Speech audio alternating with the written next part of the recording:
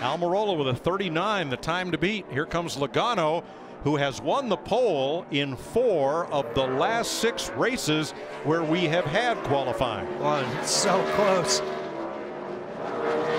A 44 for Logano, third quick.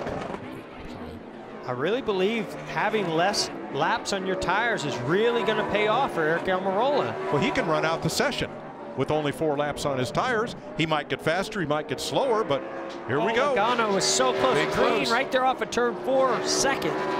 By a thousandth of a second. 39-3 to a 39-4. But Mike, you're right. Pitch till you win in this round. Just Right. keep running until it slows down. That's it.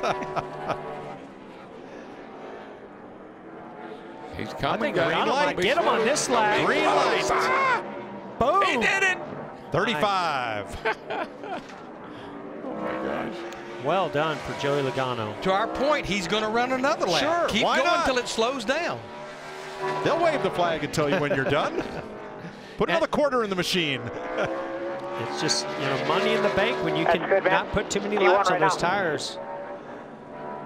Joey Logano came on the radio. He ran that extra lap, and you said, "Man, I couldn't hold my breath any longer." What was that final round like? I don't know why every time I qualify here, I'm uh, huffing and puffing after running a few laps. You just have to be so precise, and you're pushing yourself so hard down into the corners. And you know, a mistake has such a big penalty when you get loose and, and you're right on that edge of those tires. If you just go over that edge a little bit, uh, you know, it's a difference from between qualifying first or eighth or ninth because the field's so close. So uh, it was awesome to uh, get another pole here in Martinsville, and uh, hopefully we can top it off another win with the Shell Pennzoil Mustang. This is a fun race. I always look forward to coming up here, and uh, hopefully this is another win in the books. Hopefully, How about that number one pit box? How important is that for you guys for tomorrow?